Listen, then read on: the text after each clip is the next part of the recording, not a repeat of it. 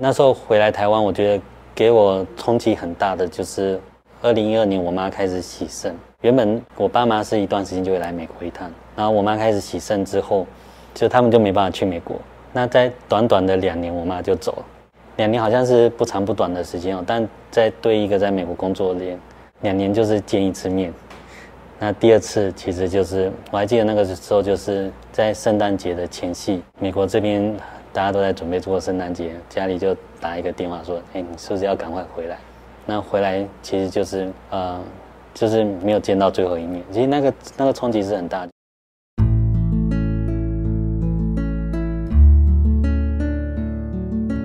植牙诊所帮你一生都精彩，从新鲜到退休。Hello，大家好，我是主持人 Pola。最近内容策展的大主题“职场好好学”，这一集我们要学的是如何看待挫折。今天的来宾他是台湾人工智慧实验室 AI Labs 创办人杜义景先生。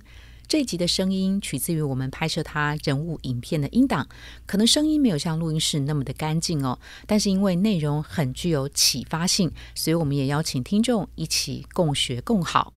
杜义景当年就读台大自工系的时候，创办了 PTT 网站，至今还是普遍被社会大众使用着。大学毕业之后，他先到美国联邦政府的卫生研究院 （NIH） 从事基因序列跟癌症自动化检测研究。在二零零六年加入了美国微软，参与储存技术开发。然后在二零一三年，他因为母亲病危去世，心生回台湾的念头。在二零一七年回台湾，创办了 AI Labs 实验室。拍摄杜义景的人物影片《受挫力》是我们访谈他其中的一个主题。他从学习到工作一路上都是精彩的实验，自觉没什么挫折，当然也就无所谓受挫力的议题。唯独谈到母亲对于生命的逝去，尤其在异乡工作，遗憾难免。一起来听听杜一景如何看待挫折。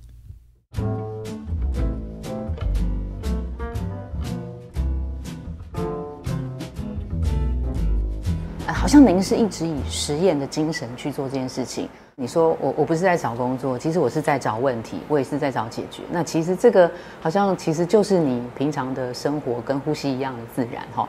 如果说我们这样问说，呃，在过去不管是求学美国，然后再回来台湾，过程一定有挫折嘛？有没有这种情境？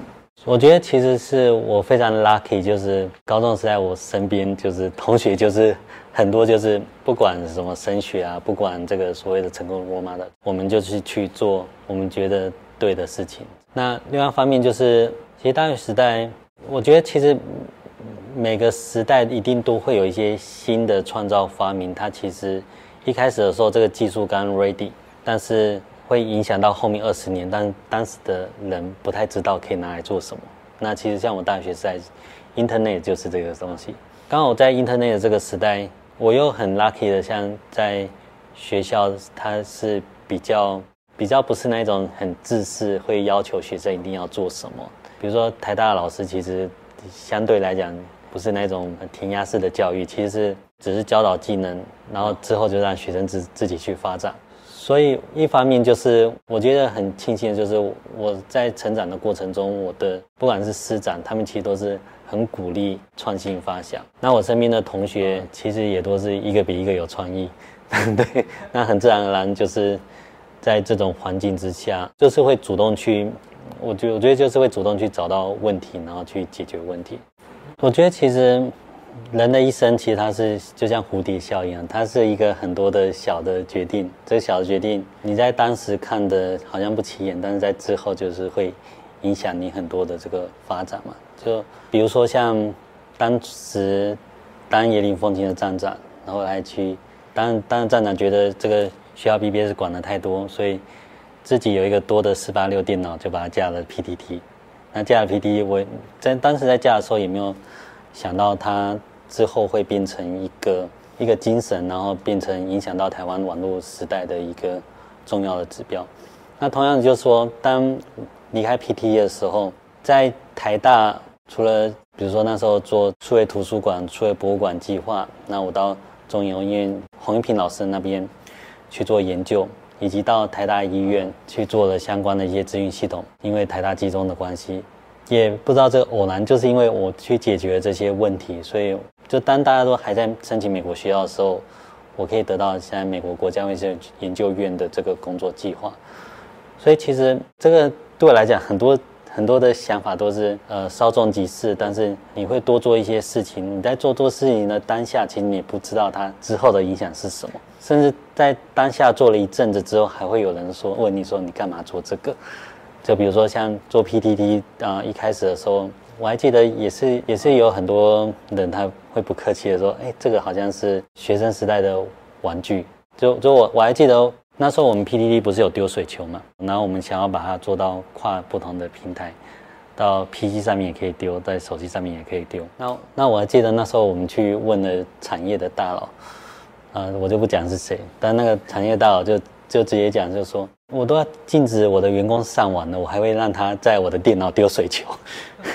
但是你要你要去想，那时候 PTT 的丢水球是比 NSN Messenger 是比 Line。是比什么这个？其实那时候连 Q Q Q 这家公司都不存在，腾讯都不存在。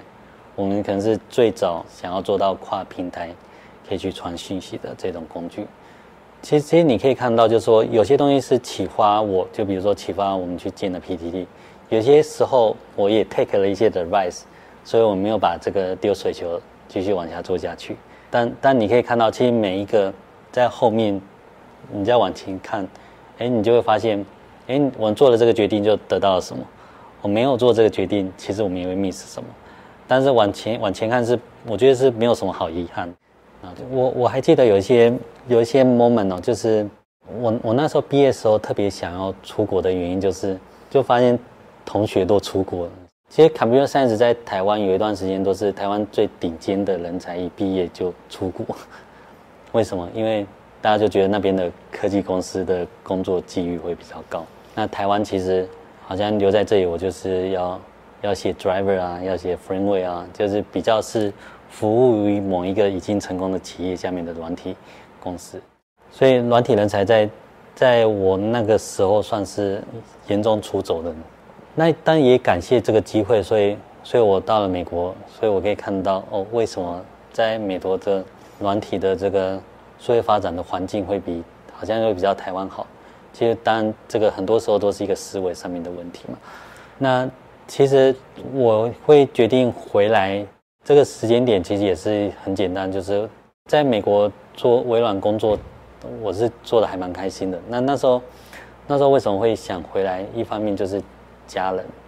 其实，在台湾只要是第一代去美国工作的都有这个问题，就是。家人到一个时间，你就会觉得好像一年只能见一次面。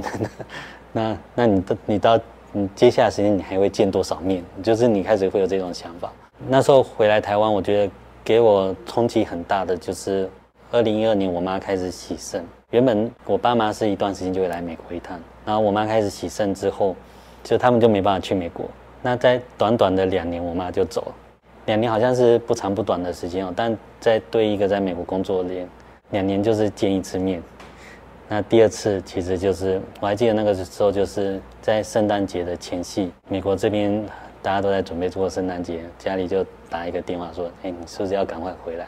那回来其实就是呃，就是没有见到最后一面。其实那个那个冲击是很大，就是说，当你看到你身边的人跟你。从小成长的，就是照顾你成长大的人，到生病到他离开，他他其实就是短短的，很多人在国外，他其实就是短短的一瞬间。对，那所以那时候我就觉得说，就开始去思考这个问题啊，就是，哎，为什么我们台湾的最顶尖的软体的这个工程师，好像都有这个问题，就是出国之后就不知道怎么回国，不知道怎么回国，其实有很大的一个问题就是。他比较没有这种精神再去做创造方面，因为其实软体你要去建立一个好的应用平台，它这个生态系的建立，其实很多时候都是 give and take 的这个过程。我们好像就是一定要设定一个很明确的目标、很明确的订单，我们才可以去做执行。但其实从很多时候在这个软体的上面是不见得是行得通的。没错，你我们是的确要把这种想法很快的收敛、产品化，而且要能够执行出来。但是它的过程会是发散收敛，发散收敛，它其实是有一个，呃软体的 cycle 在。那这个因为台湾并不像美国在戏谷有非常多的大的软体公司，它成功的经验，它其实很自然而然就会带小的软体公司在新软体新创成长的时候，这过程中是可以这样子去成长。那所以这个也是为什么呃我我那时候觉得嗯，既然我有选择的话，那我选择回来台湾。然后我有选择，那大家也跟着有选择。可以回来台湾，那跟我们一起在台湾去做一些尝试。我刚回来台湾，其实大家常问我的问题是：怎么样才会成功？怎么样才不会失败？但其实这是最大的问题啊！因为当你问什么样才会成功，其实大家就只会做那件事情。但是当我们在讲软体的创新，一个价值链的创新，常常是像实验精神哦。那实验精神是不怕失败，就一次又一次，每每个 spring 我们就尝试一个 MVP release。然后再得到 feedback 的这种过程，那这个实验精神本来就是会有很多的失败。所以我们在 PTT 当初在开发的时候，我们不是有 Pod 三千跟三零一零吗？Pod 三千到三零一零就是可以放自己独立的城市，让新开发的城市让大家去尝试。城市好的，我们我们其实尝试，比如说什么 PB 啊、电子机啊，就是网上一个想法。就把它 coding 完成，coding 完成之后就放上这个 port，pod，pod 大家尝试完之后，好了就留下来，不好就 roll back，这就是一个实验精神。它它其实一个成功的 release，它可能就是实验了好几次。当我们在做软体创新的时候，或者数位创新的时候，失败是很正常的。应该说实验的精神本身就是要能够在失败中得到经验，那经验中找到新的方向跟想法。那所以所以当你在问说怎么样才不会失败，这是错的。应该是说，你要怎么样去，可以很快的看出，第一个是很快的把你的东西做出来之后，让客户可以用得到，可以感觉得到。那借由你真正的 target 的 audience 的使用的结果，你可以很快的定出，那你接下来要怎么去做，呃，改进的目标。这其实就是高度的 iteration，就 release and iteration 的这种概念。那也就是现在的。呃，其实在 PD 本来就有这个概念，但是到后来，呃，当然所谓的这个敏捷式开发的概念。台湾人工智慧实验室 AI Labs 创办人杜义景在刚刚的音档说了一句话：“如果只问成功，你就永远只会做这件事。”当他把工作看成一场实验，自然也就更能够面对眼前的挫折，甚至不把挫折当成挫折，反而视为未来某个时间里，或者是在千里之外会产生影响力的蝴蝶效应。一起学起来哟！如果您喜欢今天的内容，请给我们五颗星，并且留下好评。假如有更多的问题，欢迎到植牙诊所的网站来发问。特别想听什么主题，请点击节目资讯栏的连结投稿给我们，也邀请您订阅追踪，掌握最新的内容。我们下次见喽！